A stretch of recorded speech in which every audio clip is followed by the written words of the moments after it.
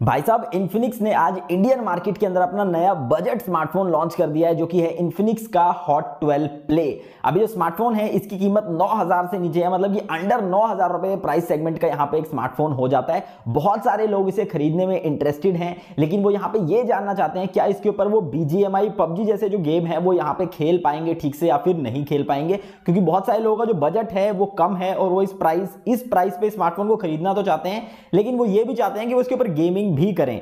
तो इस वीडियो के अंदर बिल्कुल सिंपल सा, छोटा सा आंसर मैं आपको देने वाला हूँ कि भाई आपको स्मार्टफ़ोन बीजीएमआई जैसे गेम खेलने के लिए यहाँ पे खरीदना चाहिए या फिर नहीं खरीदना चाहिए। तो चलिए दोस्तों, वीडियो को शुरू करते हैं।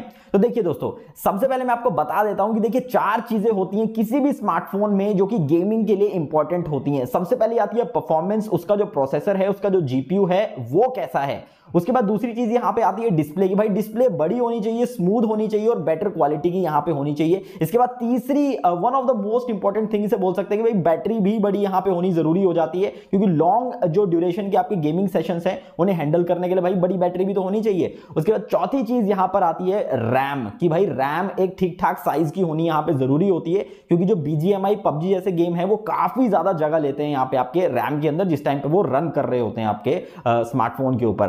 दोस्तों, इन चारों चीज़ों को मद्देनजर रखते हुए हम देखते हैं, क्या इन्फिनिक्स का जो हॉट 12 प्ले है, उनके अंदर ये चारों चीज़ें आपको ठीक ठीक देखने को मिलती हैं इसके प्राइस के हिसाब से और क्या बीजीएमआई खेलने के लिए वो ठीक है या फिर नहीं है।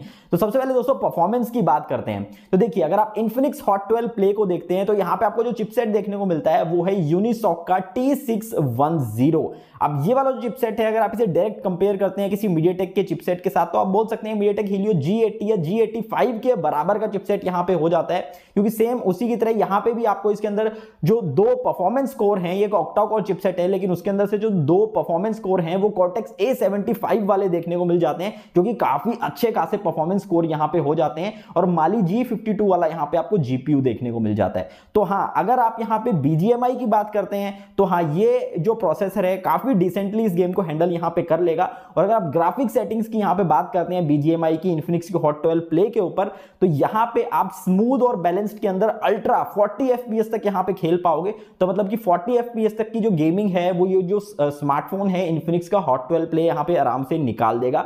अब इसके बाद दूसरी चीज़ जो यहाँ पे इंपॉर्टेंट आती है, वो आती है स्मार्टफ़ोन की डिस्प्ले की। भाई डिस्प्ले कैसी है? क्योंकि बड़ी डिस्प्ले होनी चाहिए और साथ में स्मूथ भी यहाँ पे होनी ज़रूरी हो जाती है मतलब इसका टच सैंपलिंग रेट वगैरह। तो यहाँ पे इन्फिनिक्स हॉट 12 प्ले के अंदर आपको 6.82 इंचेस का सीरियसली बड़ा डिस्प्ले देखने को मिलता है। और सोने पे सुहागा ये है कि भाई एक पंच होल डिस्प्ले है तो ओवरऑल जो एक्सपीरियंस है और भी बेटर यहाँ पे हो जाता है। और साथ ही में स्मूथ डिस्प्ले है, क्योंकि यहाँ पे आपको 90 हर्ट्ज का हाई रिफ्रेश रेट तो देखने को मिलता ही है। साथ में 180 हर्ट्ज का जो टच सैंपलिंग रेट है, वो भी इस प्राइस रेंज में अंडर 9000 के प्राइस सेगमेंट में आपको देखने को मिल रहा है। तो डिस्प्ले भाई बड़ी भी है, ऊपर से आईपीसी आईपीएस एलसीडी पैनल है तो डिस्प्ले की क्वालिटी भी अच्छी है स्मूथ भी है, और जो टच लेटेंसी है, वो भी हाई टच सैंपलिंग रेट की वजह से कम यहाँ पे हो जाती है। तो डिस्प्ले की तरफ़ से भी कोई भी शिकायत यहाँ पे आपको नहीं आएगी। हाँ यहाँ पे एक चीज़ आप बोल सकते हो कि भाई जो डिस्प्ले है स्मार्टफ़ोन की, वो ओनली एच प्लस रेजोल्यूशन वाली है मतलब कि फुल एच डिस्प्ले यहाँ पर नहीं है। लेकिन अगेन यहाँ पे प्राइस रेंज पे आप जिस पे इसे खरीद रहे हो तो उस हिसाब से देखें तो भाई ठीक ही यहाँ पे हो जाती है।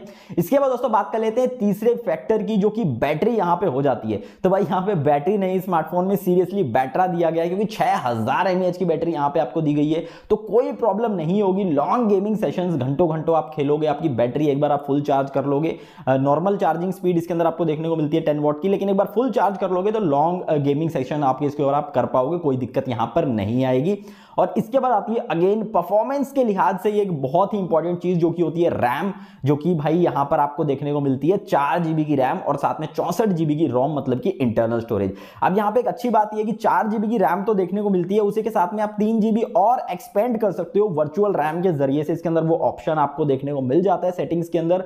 हालाँकि जो वर्चुअल रैम है, वो भी बहुत ज़्यादा काम की नहीं होती है, लेकिन यहाँ पे है क्या देखिए, मान लीजिए आप गेम खेल रहे हैं और आपकी जो चार जीबी की रैम है, वो ओवरलोड यहाँ पे हो जाती है। एक तरीके से फुल हो जाती है। अगर आप जो वर्चुअल रैम है, उस ऑप्शन को ऑन कर लेते हैं सेटिंग्स में थे तो जो आपकी जो इतनी इंपॉर्टेंट एप्स नहीं है, जैसे कि जो बड़ी एप्स नहीं है गेमिंग को छोड़ के जो बाकी एप्स हैं, वो उस रैम के अंदर शिफ्ट हो जाती हैं कुछ हद तक। तो जो इस वजह से आपकी जो गेमिंग है, उसके ऊपर ज़्यादा इफ़ेक्ट नहीं पड़ेगा।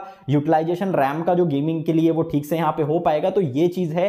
तो रैम के लिहाज से भी यहाँ पे ठीक है भाई। इस प्राइस रेंज में चार जीबी की रैम मिल रही है। काफ़ी सही चीज़ यहाँ पे हो जाती है। तो फाइनली दोस्तों बात आ जाती है कि आपको इन्फिनिक्स का हॉट ट्वेल्व प्ले गेमिंग के लिए यहाँ पे खरीदना चाहिए या फिर नहीं खरीदना चाहिए तो देखिए, अगर आपका बजट अभी नौ हज़ार रुपए से कम का है, आपको साढ़े आठ हज़ार, नौ हज़ार रुपए के अंदर कोई स्मार्टफ़ोन चाहिए तो भाई आप ज़रूर से खरीद सकते हो इन्फिनिक्स का हॉट ट्वेल्व प्ले क्योंकि यहाँ पे देखिए, जो गेमिंग की बात है, वो तो आपको डिसेंट गेमिंग तो यहाँ पे मिली रही है। साथ में जो बाकी स्पेसिफिकेशन है, वो भी काफ़ी ठीक ठाक यहाँ पे देखने को मिल जाती है। जैसे कैमरा बैक साइड में तेरह मेगापिक्सल का डुअल कैमरा सेटअप फ्रंट में आठ मेगापिक्सल का देखने को मिल जाता है। तो ये सब जो चीज़ें हैं, ऊपर से फिंगरप्रिंट स्कैनर भी यहाँ पे आपको देखने को मिल जाता है। ओवरऑल बड़ी डिस्प्ले है परफॉर्मेंस भी ठीक है। इन सबको मिला के काफ़ी अच्छा पैकेज यहाँ पे हो जाता है स्मार्टफ़ोन अंडर नौ हज़ार रुपए प्राइसिंग के अंदर। तो अगर आप खरीदना चाहते हैं, इसके ऊपर गेमिंग भी करना चाहते हैं बीजीएमआई तो भाई फोर्टी एफ़ तक की गेमिंग जो बाकी स्मार्टफोन्स में भी इस प्राइस में आप कर सकते हो, वो आप इस पर भी कर सकते हो। तो बिल्कुल से खरीद सकते हो गेमिंग के लिए अगर आपको स्मार्टफ़ोन पसंद आ रहा है तो। तो दोस्तों, मुझे उम्मीद है आपको वीडियो पसंद आएगी। वीडियो पसंद आए तो वीडियो को लाइक ज़रूर कर देना भाई। चैनल बिल्कुल नया आपके सपोर्ट के बिना बिल्कुल भी नहीं आगे बढ़ पाएगा। तो चैनल को सब्सक्राइब करके बेल आइकन को ज़रूर से दबा देना और मैं मिलता हूँ हमेशा की तरफ़ से नेक्स्ट वीडियो में। और हाँ अगर आपका कोई भी क्वेश्चन है मुझसे तो कमेंट में पूछ सकते हो या फिर इंस्टाग्राम का मैं लिंक दे दूँगा। वहाँ पर डायरेक्ट मुझसे डीएम करके पूछ सकते हो। और मैं मिलता हूँ हमेशा की तरफ़ से नेक्स्ट वीडियो में, तब तक के लिए बाय एंड टेक केयर